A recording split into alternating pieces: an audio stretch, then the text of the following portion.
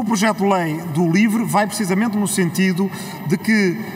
todos aqueles que neste momento estão uh, no, com os apoios ao emprego científico que a FCT dá às universidades, ao ensino superior, aos centros de investigação, aos institutos e que durante um período de seis anos fazem investigação e por vezes docência nessas instituições de ensino superior, tenham ao menos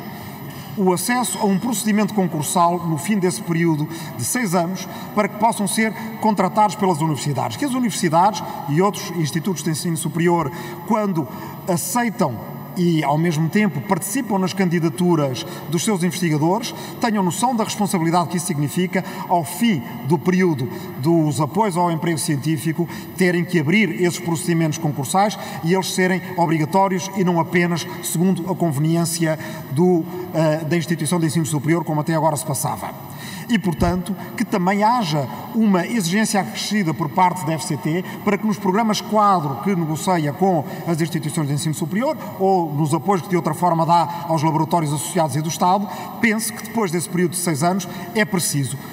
em nome de rejuvenescer, de abrir, de internacionalizar, de aumentar a exigência do nosso sistema científico, contratar de forma permanente estes investigadores quando a qualidade do seu trabalho e das suas candidaturas assim o justifique. Ao mesmo tempo, acompanhamos, e assim termino, grande parte das medidas que propõe o PCP no seu projeto de resolução, em particular a ideia que pretendemos discutir mais à frente de ter um novo modelo de financiamento, em boa parte baseada na dinâmica da nossa economia, que também beneficia com a qualificação da força de trabalho e com a investigação científica que estes trabalhadores fazem.